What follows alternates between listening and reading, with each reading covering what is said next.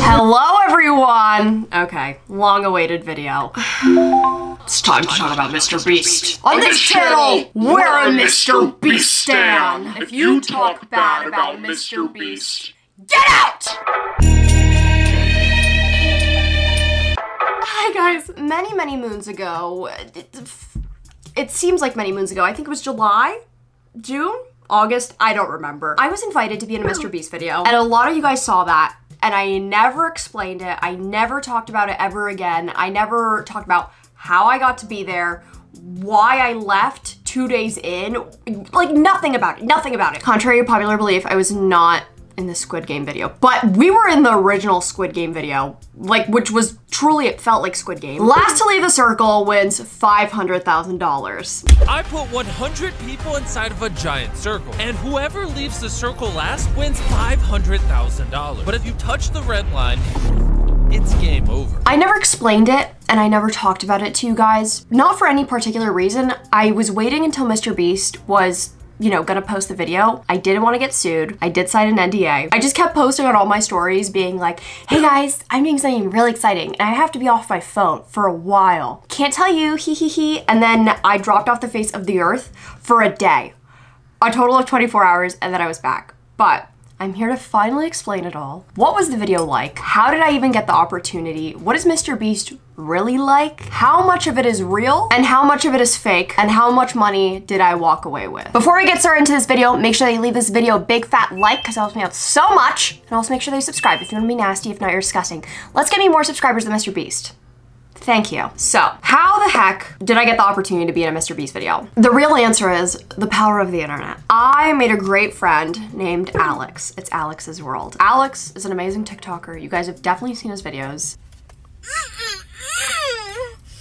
Flavors are melting on my tongue. My friend Alex happens to be on Mr. Beast's team. One day, out of the blue, he just asked me if I would be down to fly down to North Carolina, where Mr. Beast studios are, and to come hang out with him for a day, and then took a quarantine for five days, just so I could be in this competition to win a lot of money. But I was not allowed to know what the competition exactly was. And something within me was just like, Nicole, do it. And normally I would say no to these types of things. I just am one of those people that whenever opportunities are presented to me, I usually turn them down. And that's from like a deep rooted fear that I don't deserve things. I'm working on it. It's better. But somehow I was like, we'll do it for Mr. Beastie. And then it occurred to me that I could also bring along a friend because they needed more people in this video. They just needed a mass amount of people. And then I thought to myself, I should bring my good old pal Jakey, who is my co-host for my podcast. And we were heading out, baby. Within like a week, we were flying to North Carolina. I love you. Goodbye, room. See you, I don't know when. Yay. Hi. If you are watching this video, and if this video is public and live, that means that I am going to be in the Mr. Beast competition. Currently, 222, April 23rd, no, July 23rd. Jake is going crazy. Jake is unprepared, unfed, unrested, unwell in general. I'm worried about him.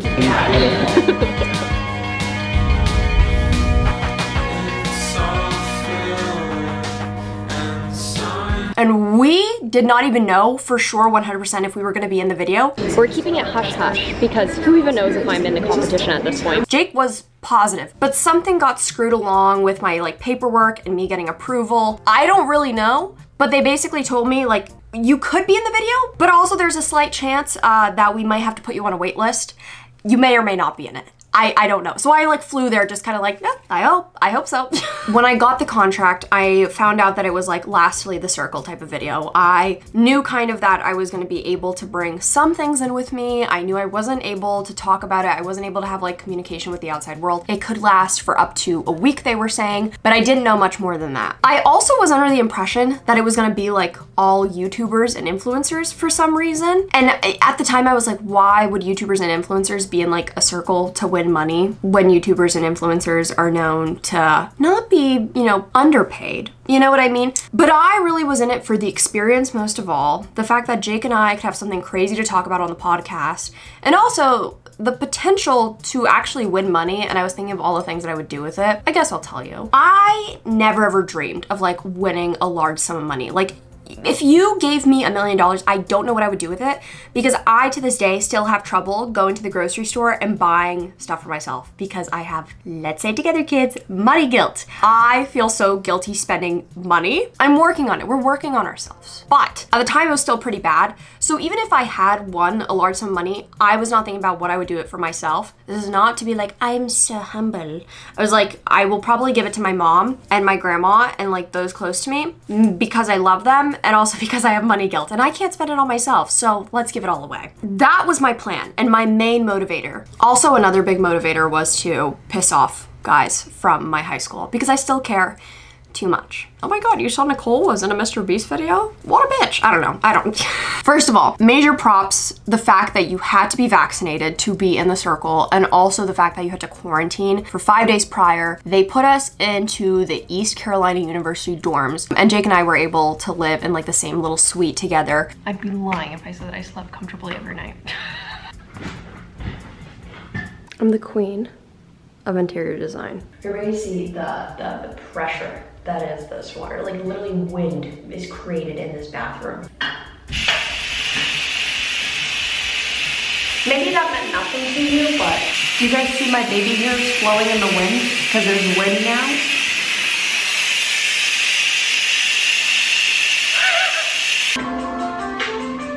This was also directly before Delta was a thing. For a moment in time, I thought I was gonna be stuck in North Carolina forever because we didn't know how bad the Delta variant was. So, quarantine, brutal. It's brutal because it's mind numbing when you're in a dorm that is not decorated at all. It's just white walls. You don't have any of your stuff. You just have like a few pieces of clothing and just kind of hoping for the best and like food delivered to you. You can't like go out to get food. You can't see the sunshine. All I did was read books one after another. I was reading straight up smut.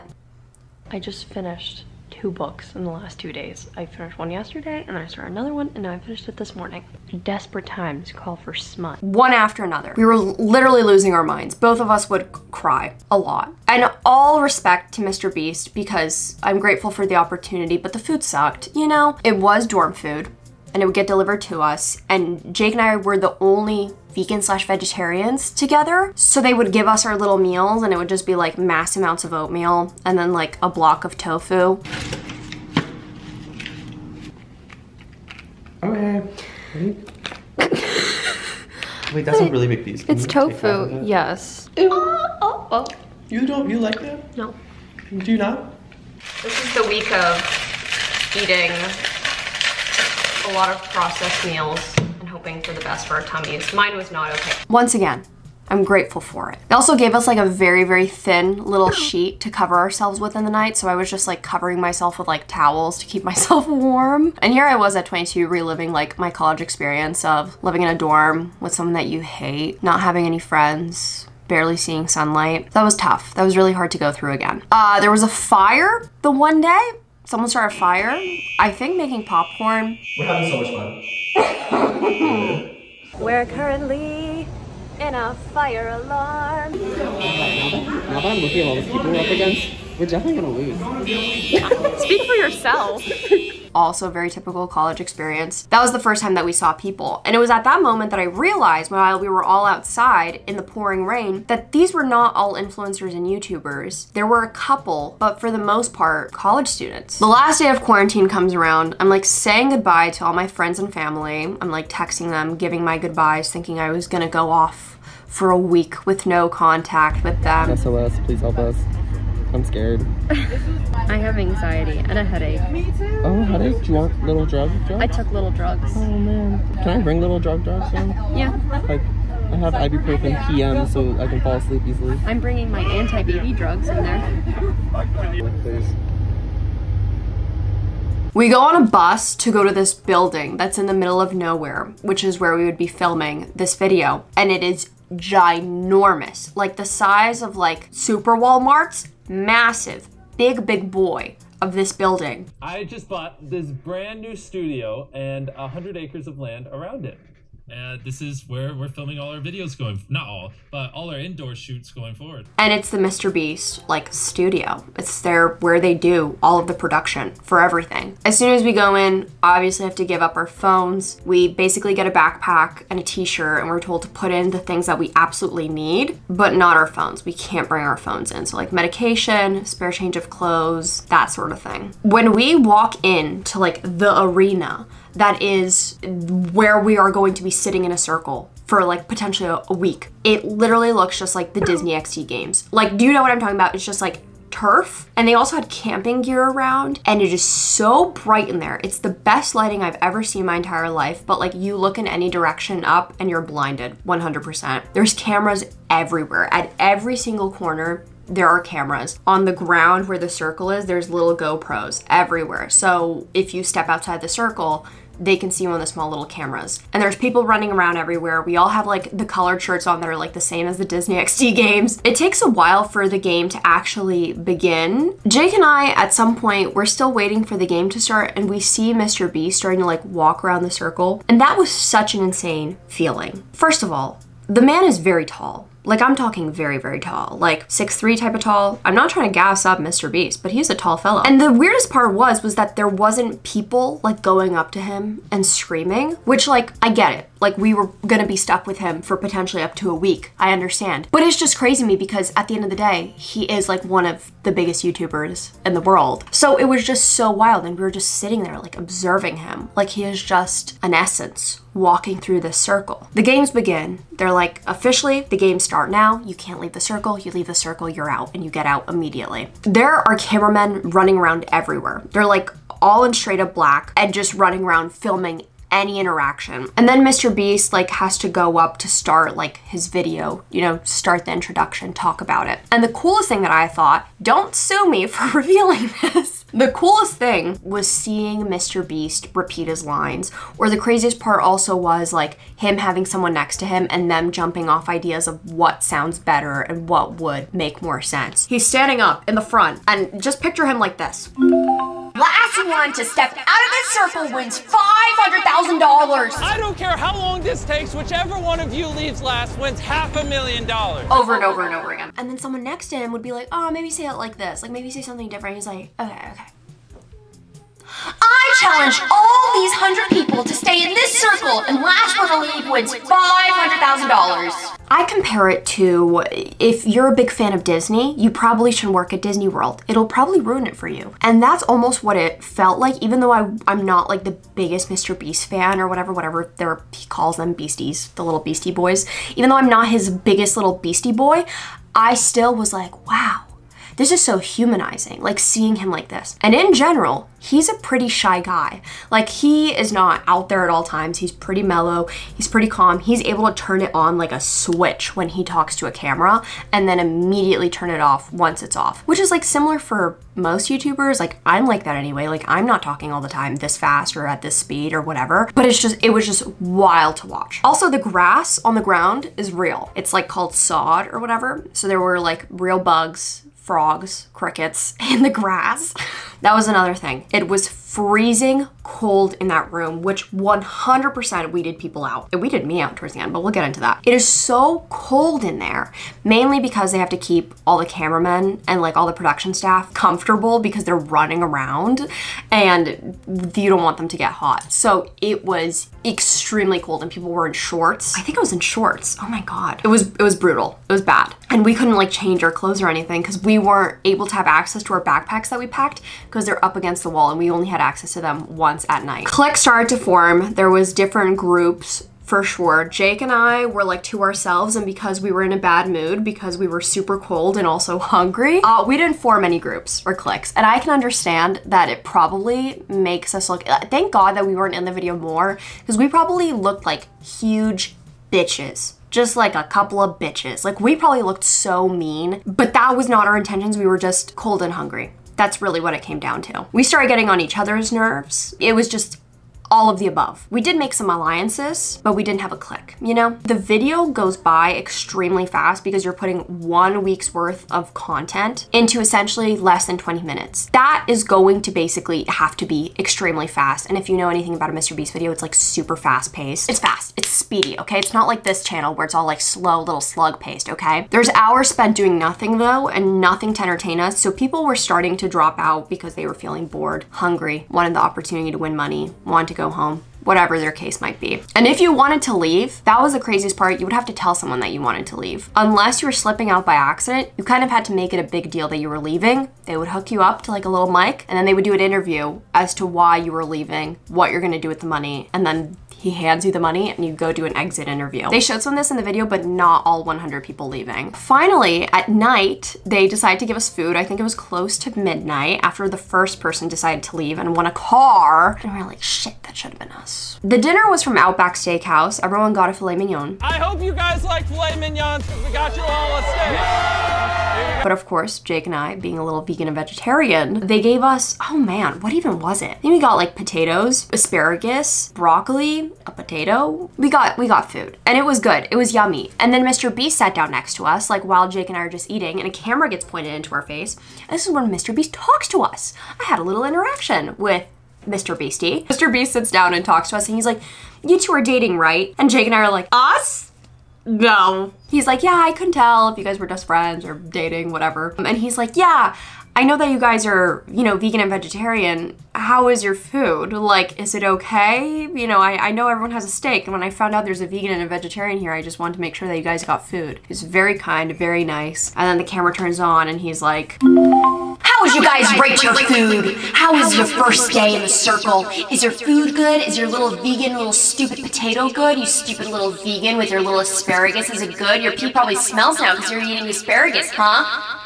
Not as good as filet mignon. And it was a great experience. And it did not get put into the video, but Jake and I lived with that forever, that Mr. Beast asked us how our food was. There also was porta potties available. Having a morning poop in a porta potty was not enjoyable, but it was an experience. The thought of sleeping at night was very scary because I was like, how is this gonna go down? I've never really slept with a hundred other people. Okay, you know what I mean. We all got sleeping bags, we got given toothbrushes, toothpaste, whatever. It's time for us to go to bed. I found out what time it was and it was past 11 p.m. and I realized that I needed to take my medication. They told us if we need to flag anyone down to like raise our hands and do some hand motion. I feel like it must have been this. there was no one from the production team like around us, no cameramen, nothing. In the corner, there's Mr. Beast. He has this like little camper with all of his friends and they're hanging out playing video games, whatever. And I'm sitting there going like this. The only person who answers was Karl Jacobs. And he's like, I'm eating, but he still comes over, which was very nice. And I was like, hi, sorry to bug you, but I need my medication and it's 11 p.m., blah, blah, blah, blah, blah. And he's like, oh my God, let me, let me check on that for you. Basically, he was the one who like instigated for us to be able to receive our backpacks back for the night at that time because he's like, people need their medication. Like, you guys should distribute them out. And so they did. Everyone's getting dressed like for the night, putting on their PJs, brushing their teeth, getting ready for bed. And it's like mayhem in, in the circle. And I'm like, shuffling through my backpack. And Karl Jacobs remembers me, comes up to me, and was like, Did you get your medication? Like just like just like that. Like in that little tone. Like just imagine Karl Jacobs going, Did you get your medication? And I was like, Oh my god, I did. And that was the time that Karl Jacobs made sure that I got my birth control that night. Sleeping throughout the night was definitely anxiety inducing because I was just completely prepared for them to like put blowhorns in our ears. That didn't happen, although I did wake up several times to Karl Jacobs just scootering around us, like while we're sleeping. It'll be like 3 a.m. and he's just like on a little scooter. People stayed up all night, people slept within the money. That was pretty gross. There's like a pile of money in the center. I never had my morning poop in a porta potty before, you know, that 100 people were sharing. It's tough but I made a do. I made do. I made do do. The next morning we woke up and we really were not decided on what we wanted to do. We heard a lot of people's stories, like over listening and taking laps in the circles of what other people would do with the money. A lot of them were parents. A lot of them had student loans to pay off. A lot of them were like, I want to give some to my kids. Some people were like, I have medical bills to pay off. And the money just did not sound as appealing at all anymore, to be honest. Also, when you are in that circle and if you leave, you're still leaving with money it's just not gonna be as big as the $500,000 amount. But I think everyone is guaranteed $1,000 to leave and then also some sort of gift. I think they gave out a Switch, laptops, iPhones, stuff like that. And so essentially Jake and I were just waiting for a point where it was time to leave. And even Mr. Beast made an announcement at one point. He's like, just letting you guys know, until it's like the last 30 or 20 of you guys, I'm not giving out any good gifts. And that's when Jake and I kind of decided like, we're kind of suffering here. And we were just kind of like, is this worth it? Like, this has been a fun experience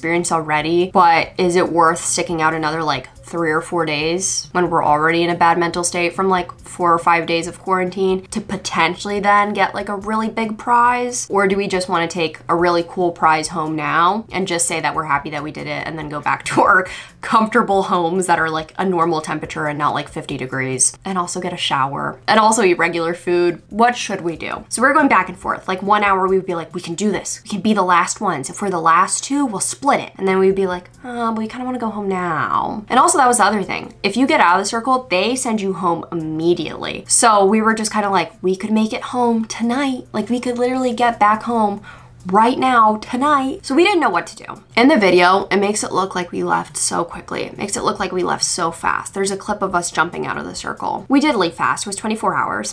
Some people lasted a week and a half. But Jake and I were like, this is time. We were plotting for a while. We're like, we even talked to the producers. We're like, we want to leave soon, but we want to go out with a bang and we want to go out together. Like, should we propose to each other? Should we like punch each other and fight our way out of the circle? Should we like somersault out of there? Like, what do we do to make it fun and interesting and then potentially get in the video? And then our saving grace. This guy was like, I want to leave. I have my own small business at home. I want to step out right now. And then Mr. Beast was like, all right, I'm giving you a thousand dollars. Whoever steps out next, I'll double it. And then five of us ran out. First, Jake sprints out. And I was like, oh no, I have to sprint out too because I, he didn't even tell me. He didn't even consult with me if that's what we were gonna do. He just dipped. He ran out of there and I followed. And that's how we left. That's how we left the circle. Mr. Beast hands us huge wads of cash that were not accurate and we had to give back because it's just like wads of ones. And so we have to give it back to him so that he could continue to give those out because we got paid through, what is it called, wiring. He gives us these fat stacks of cash. They put like the camera in our face. Everyone's like cheering for us. The lights are like going crazy. We have to go in like a little corner and it's like a confessional booth and we talk about what we plan on doing with the money, our name, where we're from, that whole sort of thing. And when I tell you, it, it all happened so fast. One minute we left the circle, the next minute we're in the corner recording our like confessionals, the next minute we're grabbing our backpacks, the next minute we're like behind the scenes we're all like the screens are where tons of employees are just like watching the cameras and what's happening, like every single move. The next second they're booking our flight back to Philadelphia. And the only way that they could do it was if we flew from North Carolina to Georgia and then to Pennsylvania. So we left around, I'd say like 6 p.m. We needed to be on our flight at 8 we didn't end up getting back home until 1 in the morning. So we flew all that time to make it back home at like 1 a.m. And we had to ask our parents and be like, Mommy, can you please pick me up from the airport? so in total, the money that we made from the Mr. Beast video, we won a thousand dollars because everyone got to go home with a thousand dollars. That was like for quarantining. And because that one guy who left, his thousand doubled, we got 2,000. So in total, we went home with $3,000, which was super cool. Oh my God, I almost forgot to mention. Thank God we left when we did because the second day, they decided to make the circle smaller where they spray painted the circle. Could not breathe. It was bad. My little lungs. We were so happy to come home. The next day, I think the only thing I did was like lay in bed because I was just so exhausted, which seems like, Nicole, you did nothing, but I barely got any sleep while being there. I remember coming home and I just like listened to the new Billie Eilish album because it came out while I was gone. Took a long ass shower. Oh my God, on the flight, we had to be in like our like clothes that we were in the competition and we were like probably smelly and like covered in dirt because we were literally sleeping on mud. And like, we're just thinking to ourselves, like, none of these people on the plane know anything that we just went through. Even though we, it was literally 24 hours. It was literally not that bad. People stay there for a, a week and a half. I really can't complain. And honestly, congrats to them for staying that long. Good for them. And then when Squid Game came out, we were like, oh my God, we were in the original Squid Game. That's crazy. Mr. Beast was killing us out of there. As soon as we stepped over the line, shot us dead. Overall, it was an amazing experience. I'm so happy that I got to be a part of that. Thank you so much, Alex, for even giving us that opportunity opportunity. That is how I got into it. It's not as crazy of a story as everyone assumed. But the one thing that I have to say is that Mr. Beast videos are very real. He's actually a very kind, genuine guy. His team is great, very kind, very amazing, very accommodating, and I really appreciate them. And like, for as huge of like a production as they are, and the fact that they like handle everything on their own, they really are amazing. Everything is real in the videos. It's just that some things are either slightly planned or refilmed to make the story more interesting, but nothing is like fake, if that makes sense. People were not purposely pushed out of the circle like in that video where there was not a winner from the beginning who was gonna win, like whoever won that video, they actually won it. It's just really cool. It's very inspiring to see someone who like started off as a YouTuber like me to do all that. Do I personally wanna, you know, have a hundred people in a circle as my like little guinea pigs and me making content off of it? Not I! But I'm happy that he's doing it and he's a really cool guy. So I'm very happy for him. And the fact that he's only like a year older than me is like, it hurts my ego a little bit, but very cool guy. Thank you to the team who like allowed me to be in that. And thank you you guys for like supporting me because without any of you guys, I would not have an opportunity like that. It's so crazy. It feels like a fever dream. It kind of was. So thank you guys so much for watching. If you like this video, please make sure that you leave it a like because that helps me out so much. Leave a comment if you have any questions still about Mr. Beast and what it was like to be in a Mr. Beast video. I'll be sure to answer them in the comments down below. Also, make sure that you subscribe if you want to be nasty. If not, you're disgusting. Also, make sure to have your bell notifications on so you know every single time I post or else you are gross. If I don't get more subscribers than Mr. Beast after this video, something bad's gonna happen. I don't know what it is, but something will. If you want to follow me on my other social media like Instagram, Twitter, Depop, Spotify, it's just at Nicole Rafiee, and if you want to follow me on my TikTok is at Nikki Nasty. I'm gonna go now. Thank you for the money, Mr. Beast. Bye. Do it sometime. Locked up on the border.